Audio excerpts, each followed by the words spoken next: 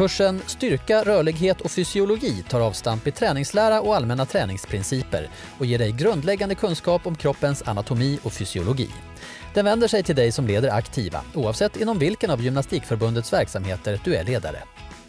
Du får förståelse för muskler och deras respons på olika typer av träning och vikten av uppvärmning, rörlighetsträning och återhämtning för att må bra och optimera träningen. Du får också konkreta tips kring hur du använder dig av kunskapen i din roll som ledare. Kursen är digital och på distans så du kan genomföra den när det passar dig.